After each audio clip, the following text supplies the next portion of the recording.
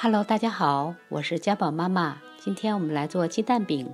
中筋面粉一百克，加入玉米淀粉八克，边搅拌加入凉水两百九十毫升，搅拌成一个非常稀的面糊糊，再打入两个鸡蛋和加入少量的咸盐，继续搅拌。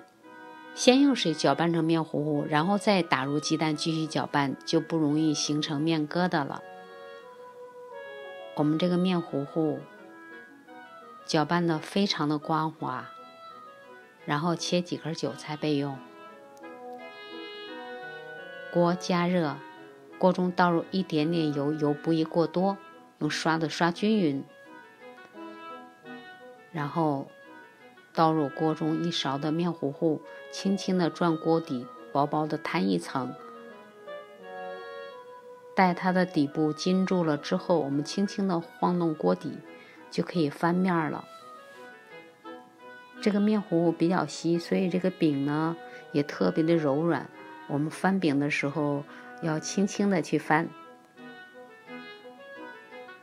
翻两下这个饼就熟了，我们就可以出锅啦。这个是纯鸡蛋饼，没有加入任何的蔬菜。我们做第二种，锅中刷油，倒入一勺面糊糊，转圈儿，把面糊糊转匀，然后马上撒入一点点切碎的韭菜，待这个饼和锅底可以分离，我们就给它翻面儿，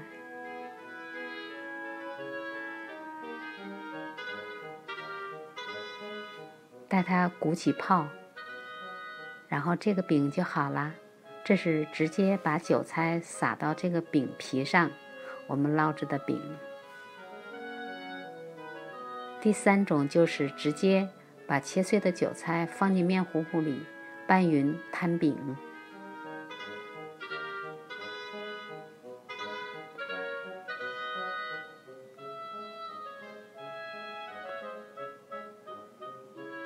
这三种方式摊出来的鸡蛋饼呢，味道稍稍有一点点不同，但是都非常的好吃。